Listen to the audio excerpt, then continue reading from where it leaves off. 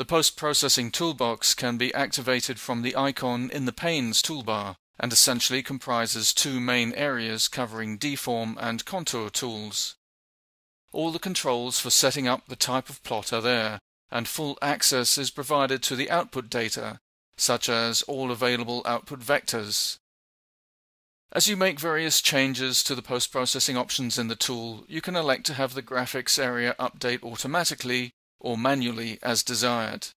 As you can see, you have full access to all the main options and settings that control the results plot, nodal or elemental, and as these are shell elements, you can select double-sided plots.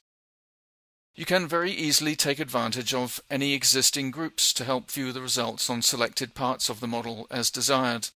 The compactness of the user interface and the efficient way all of the post-processing options are displayed in the post-processing toolbox means that you don't have to remember or know where to find all the settings.